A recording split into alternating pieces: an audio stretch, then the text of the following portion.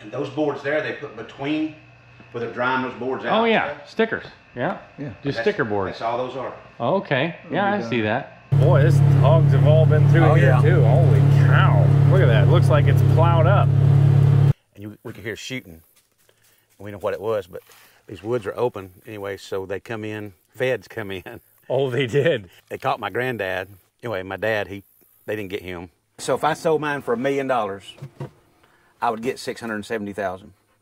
Just out of curiosity, I put my house up for sale down there. Everybody that come and looked at it, what about that lake? What's mm-hmm. it going to do? Mm-hmm. So it's it's already decreased the value of my place. I live in rural Montana, and I've always wondered, with as big as Texas is, does it still have places that are as rural as this? When I found out that even in East Texas, right below Oklahoma, there's places that are backwoods where there is very, very few people on the roads, and I just felt at home. And there's kind of the tragedy that's happening down there with there's a, a lot of reservoirs going in that are taking land out of production, out of ag production, but they're also taking private property away from citizens and giving it to the government. Today I'm going to show you a video that I made when I was down in Texas with Casey and he inter- introduced me to a friend of his named Jeffrey. And we got to hear some fantastic stories about how his family handed this land down to him and how he's about to lose it all. Yeah.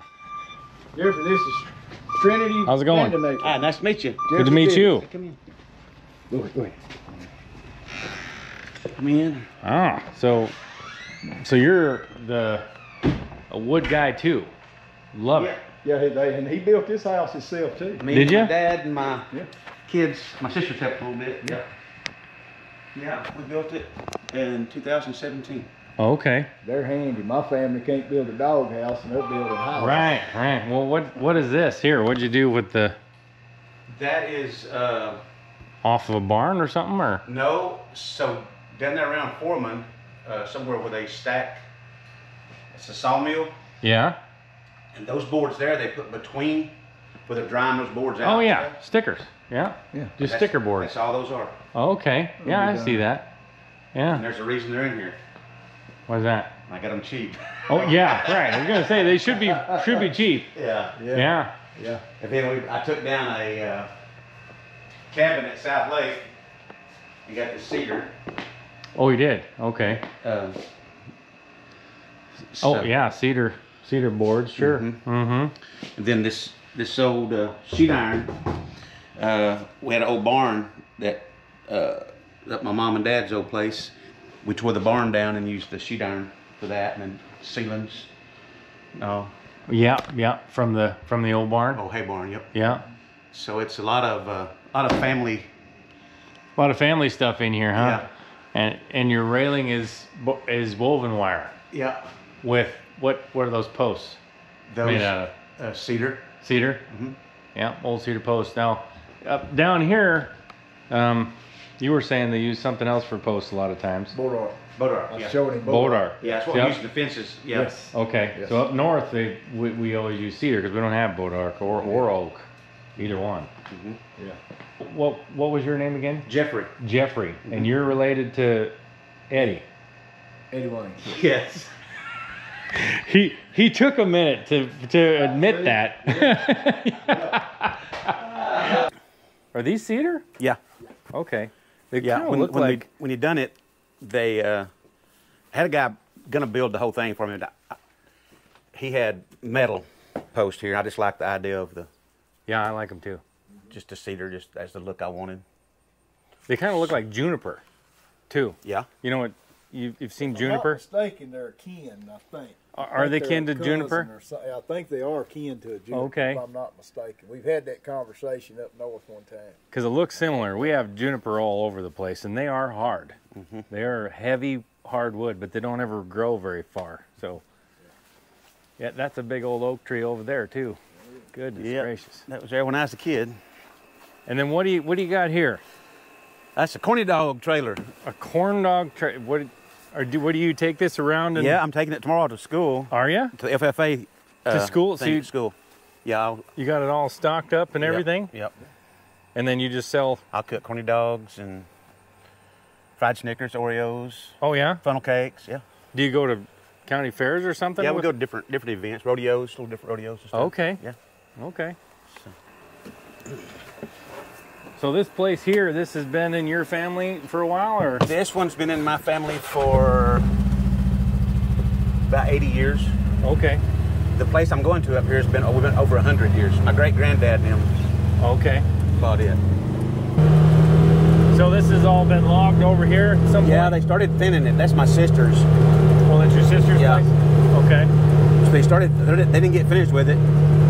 Pine went down, so they they stop. So You're gonna leave it, leave it stand for a while Yeah. until pine goes back up. Yeah. I see. yeah, she has 160 acres, cuts through there of just pine plantation. So what do you do? You do for a living? Do You do that? I uh, got cows of my own. Yeah. And then uh, I work for Woodland Farms.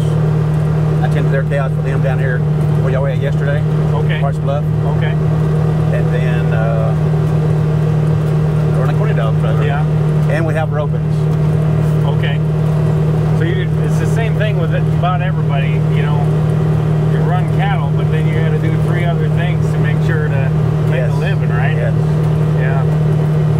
So this arena, this in the past right here, we built it in 1987, me and my dad. Okay. We, we've had ropings here since then. And this is this is where you were saying you were roping, huh? Yeah. Yes. Yeah. Yep. We built that. Lots of people have learned to rope there. And then, uh, so the neat thing, you wouldn't think it, but down here, last year, or year before last, at the NFR, the National Finals Rodeo, there's 15 teams, which is 30 guys. Right. 16 of those guys have been right here roping. Sixteen of them. Yep. Wow. So it, it's not just uh, guys like me and Casey that's just that's just kind of average ropers. There's we've Right. had some good ropings here. Yeah. That it's just. But this was my dad's old house. There's your dad's. Yeah, So I gave I gave it to my son. Yeah, he, he passed away in 2020. So where where where'd you grow up? Right here. Right, there. Yeah. That's where you grew up. Okay. Is this a hog dog here? That he's supposed to be. See that cut on his shoulder? Yeah, I see that. My dad, we logged. He cut his ties. T- ties? Yeah, which Oh, they make like cross railroad? ties stuff out of. So they're yeah they're Railroad ties? You cut, yeah, but you cut Okay. logs in eight foot six, and that's they're tie logs, what they call Sure. them. So, uh, On a hardwood? yeah, Okay. we we logged, and then uh, we sprigged Bermuda grass, which is not much here anymore. It's Bahia, but we dug sprigs and went to other places and sprigged grass for people. So what does that mean? What is So we, you got a machine that comes in here, and it uh, digs up the roots Okay. and you put them in a trailer with dirt on them, and then you take them to another place. You got a machine. You throw them on that machine with a pitchfork, and then you go and it, it's got little plows and stuff. You got to plow the ground up, but it puts the roots back in the ground over there. So you're you're taking your grass and putting it. But when you dig it, it sifts enough back out. It doesn't take all of yours. It Sure. still comes So back. grow- but Bermuda grass back. spreads and runs anyway. I see. Okay. So we done that. Uh, we baled hay for the public. Since I was little, we went from square hay till I remember when they started round round baling hay. Uh huh. So then we uh, we round bale hay. So uh, we done everything to make a living. I mean. Yeah. Yeah.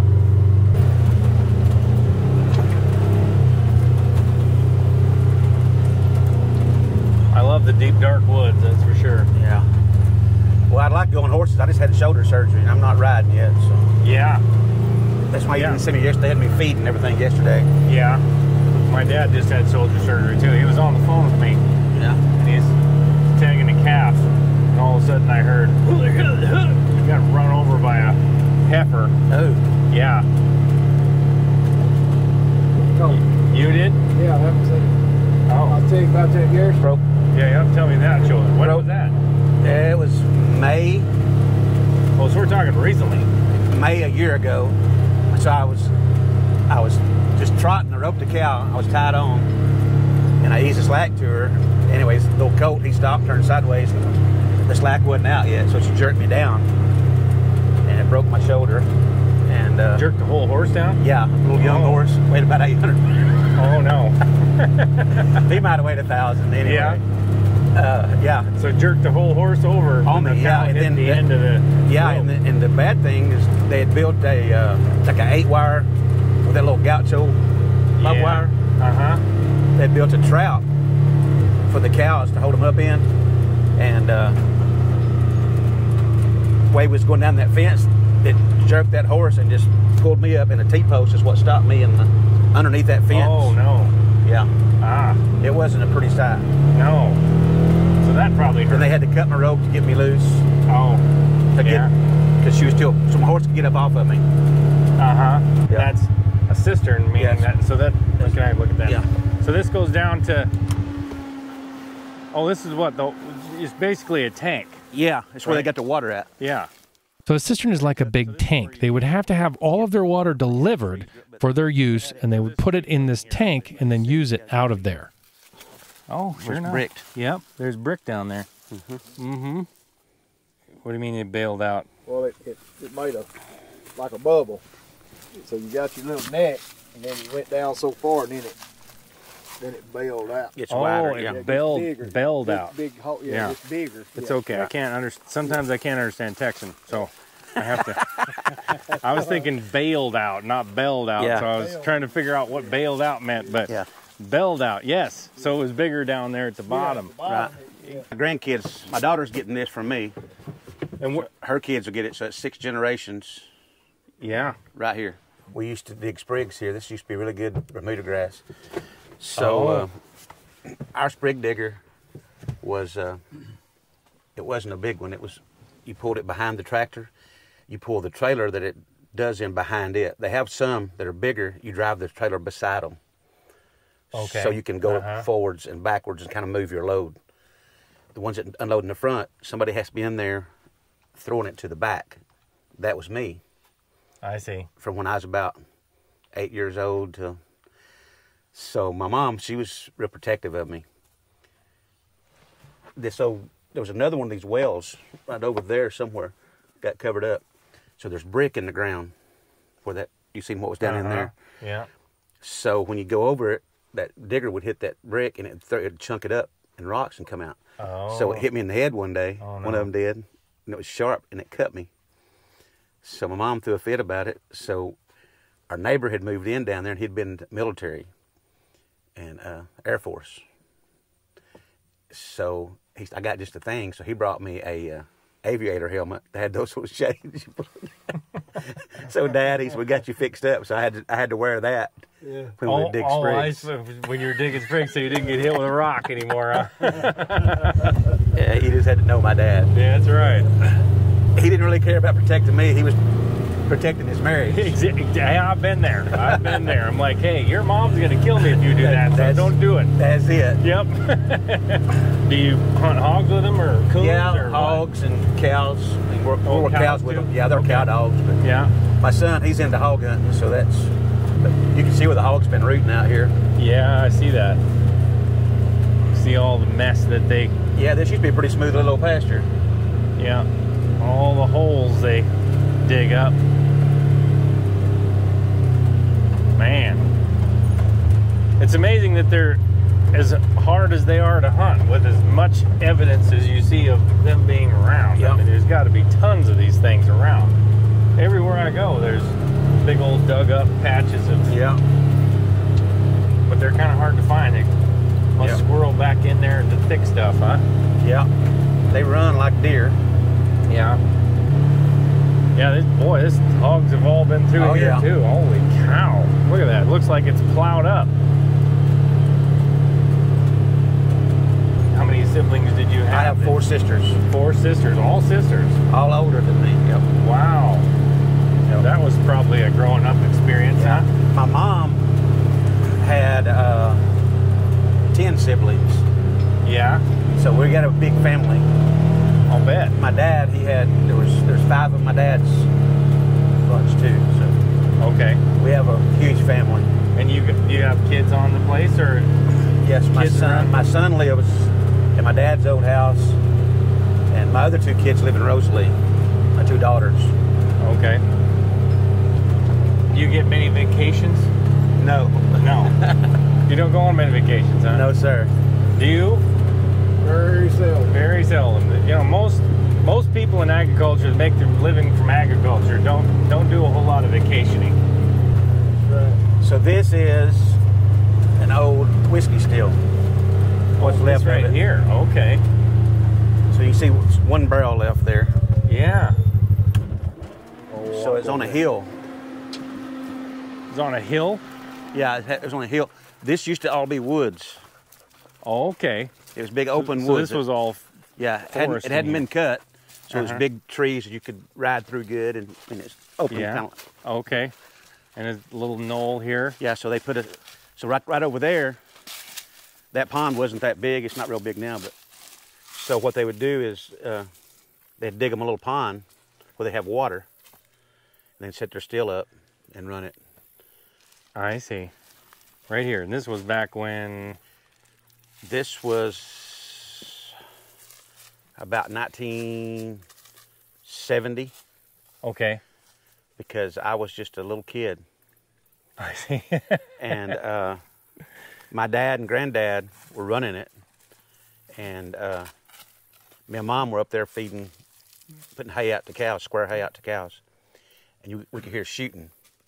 We know what it was, but these woods are open anyway, so they come in, the feds come in, oh, they did. and uh, they caught my granddad, and uh, anyway, my dad he they didn't get him.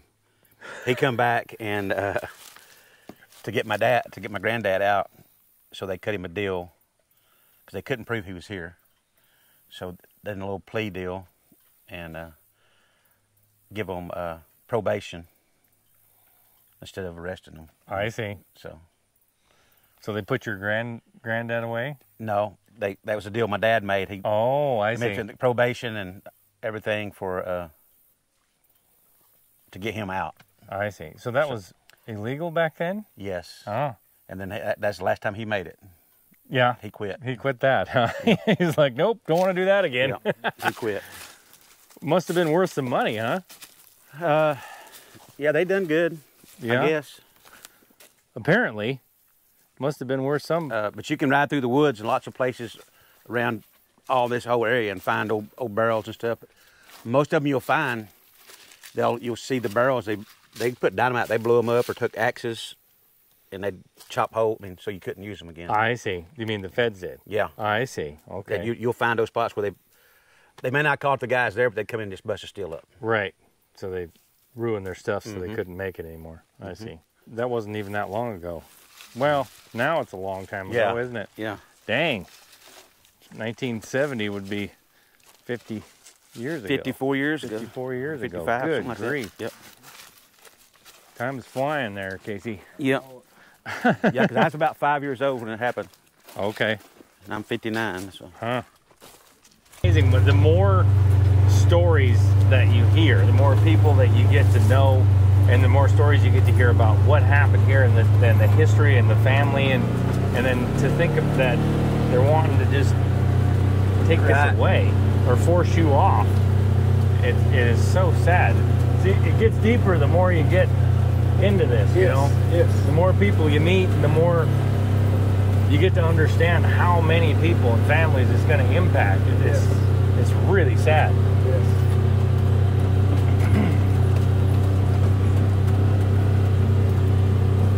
Right here, which was a different deer stand there. Yeah. This is where I killed my first deer Oh, I see. when I was little. Even on the old the old old homestead Yeah. part, huh? Yeah. Huh. So uh, Yeah, because that oak's been there for a while. yeah, but that that wasn't. We had another. It was a.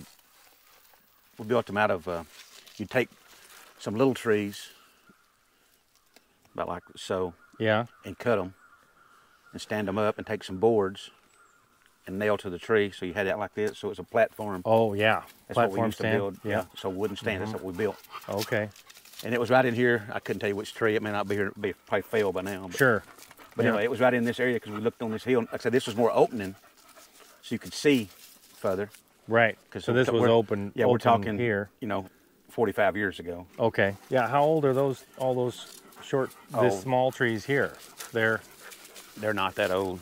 they're not that old. No. Like ten years or Yeah, some of them are not that. Some of them not that old. I, I would say this one here is probably maybe eight or 10 years old. this one here? Yeah. Okay. So this is about eight or ten We've been just letting it grow up. We don't use it for anything. so Sure. Just let it. yeah. Just going back to timber. yeah. And you got a hog trap over here. Yes, sir. You can see the hog been right here. Holy cow. Yeah. Yeah, I think they got some hog issues too. Yeah. Mm-hmm. So how do you catch them in this thing? You raise that door up. We haven't used it in a couple years. I haven't, or a year. You raise this up. You put a, we put a stick under it to hold it up. Okay. We just put wire back here, and you X, just like baling wire. You Yeah. Just X it, and put your feed back here. They come to eat the feed. They trip the wire, pulls Oh, the stick, pulls, door pulls the stick out, and this this Rooting around. it'll door right here Right drops Yep. drops down behind them. Yep. I They'll have see. this up here, or they'll climb right out. Climb right out of there. Yep. If you don't put a something up Yep. there, they'll climb right out. I see. Yep. Huh. You think a little fat hog couldn't do that? but Right. Climb right out. Yep. So the, how many could can you catch in something like this? Uh, you can catch 20 or so. Most time you won't catch two or three. You'll Yeah. catch a bunch of little pigs and stuff, Yeah. but you'll catch two or three big ones. Sometimes you'll catch eight or 10. Huh. Lots of times the way I'll do it is I won't set it. I'll get them going into eating. Oh, So they just get, so they leave get to where they, yes. so they'll 'em get eat? to where they run in to get the food. You catch more that way than you do if you just, because they're always kind of, most times spooky. Right. But if they get to where they're used to going in, then they go in and start fighting for it. So you can catch a few more. I see. Yeah, get them nice and comfortable and huh.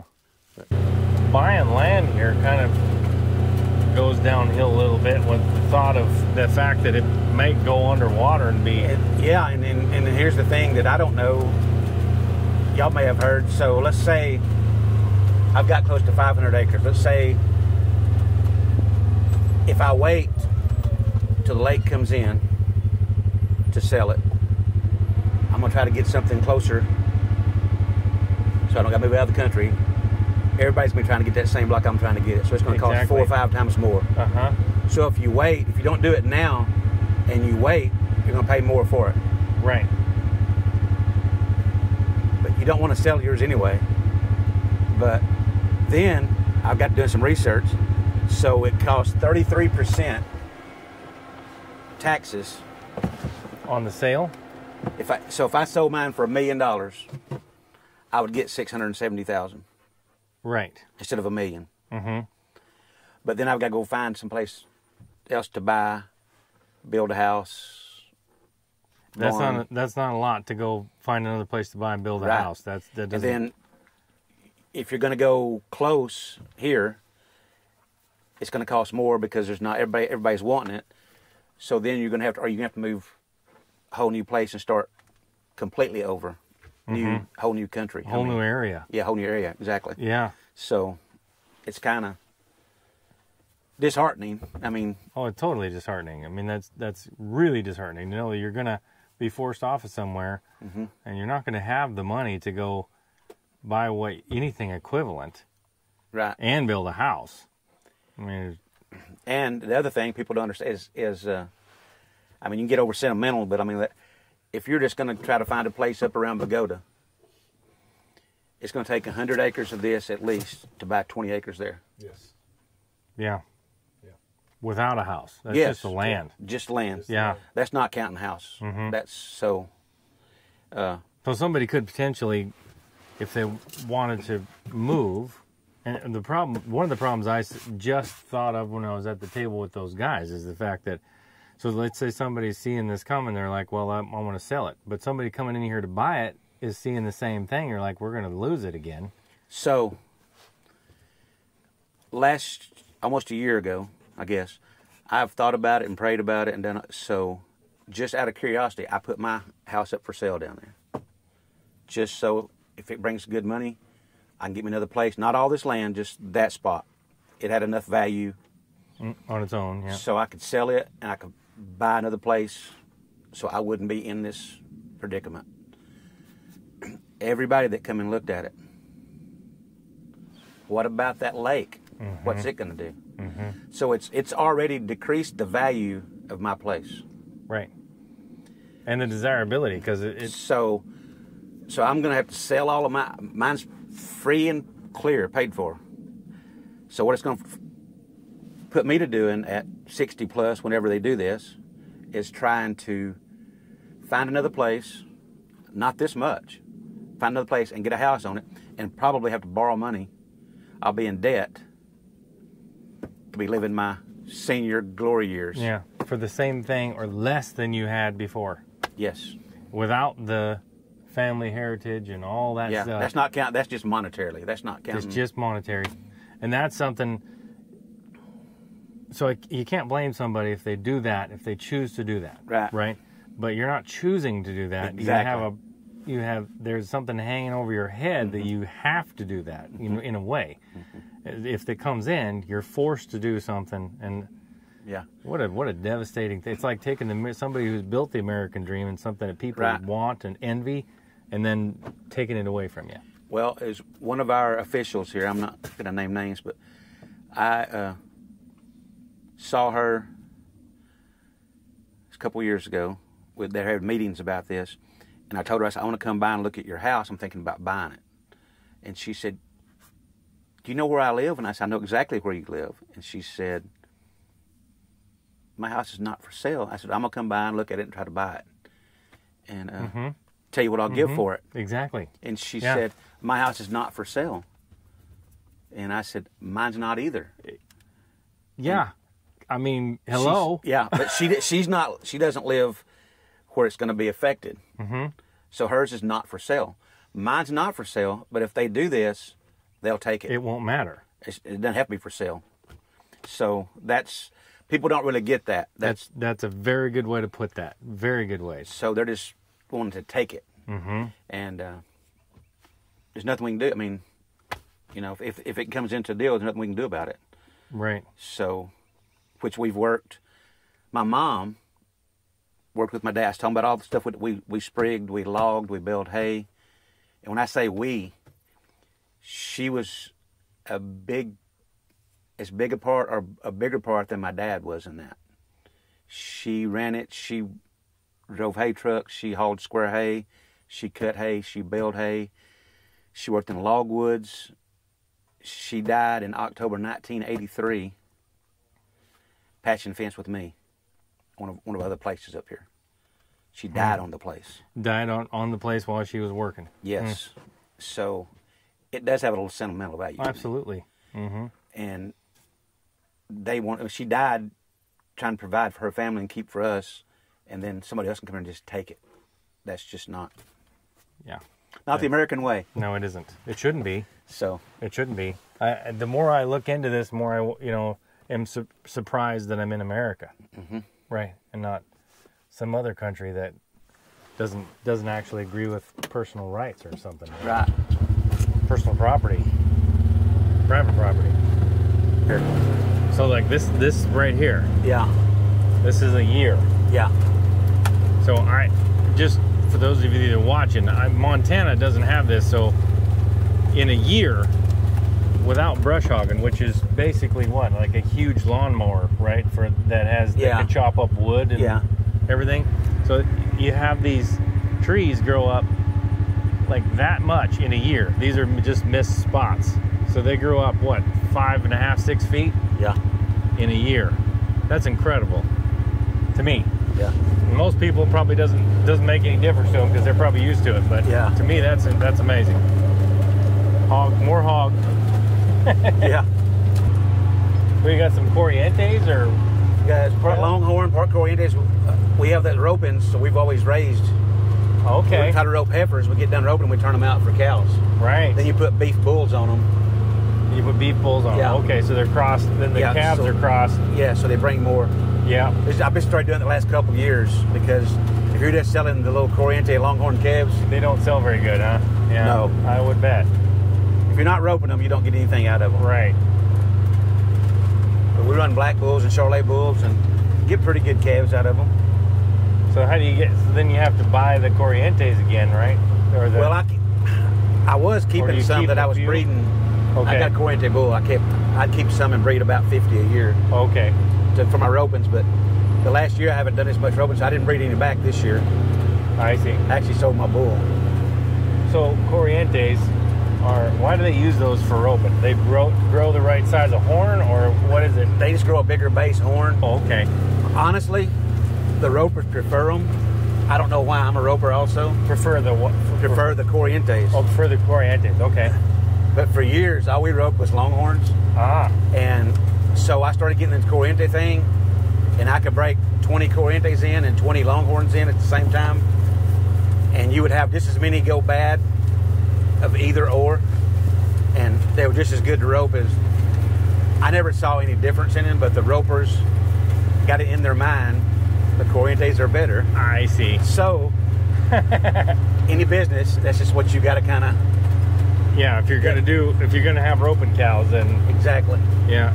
So for you, where do you go with these? Do you, do you just do ropings, or Yeah, I, I put on. I used to put on ropings uh, here and like indoor arenas, church things, uh, little little associations, just different things like that. We've given saddles and trailers, buckles. oh, so now do you do people just like pay you to use their cattle, or We do that some. We lease lease cattle out for ropings. Uh, mostly, we'll have a have ropings here, or we'll lease a place like uh, uh, indoor arena. We'll lease an indoor arena and have ropings there. We'll haul them to it. and people will pay for entry fees? Yeah, or- they, they to, come to just- rope. Yes. Okay, gotcha. And these are Charolais here, aren't Yeah, they? that's a black. That's an Angus cow and a, with a Charolais calf. cross cap. Yeah. Okay.